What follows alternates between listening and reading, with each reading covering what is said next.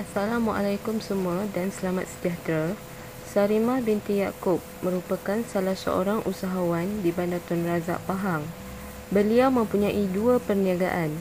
Pertama, Putih Andaman Sarimah. Kedua, Sarimah Taylor.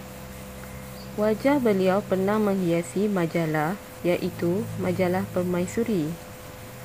Penglibatan dalam bidang andaman bermula pada tahun 1980 di Kuala Lumpur sehingga kini.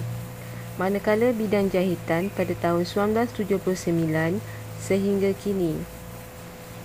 Kemahiran lain yang dimiliki iaitu landscape, solekkan, kosmetik, model, gunting rambut, dandanan rambut, hiasan dalaman, kubahan bunga dan juga psikologi. Beliau mempunyai empat orang pekerja di butik Andaman Sarimah.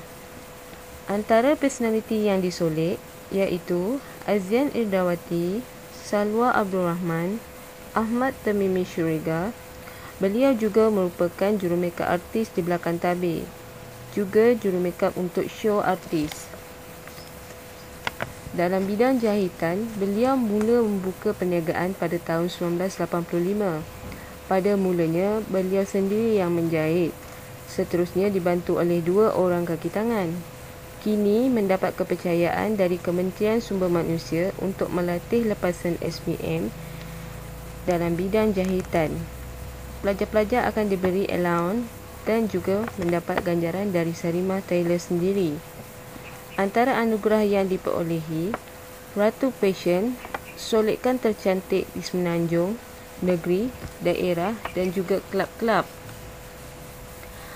Pengalaman Sarimah terlibat dalam mengajar isteri-isteri VIP dalam bidang andaman dan juga jahitan. Selain itu, beliau merupakan penceramah bebas. Sekian dulu. Jumpa lagi. Assalamualaikum.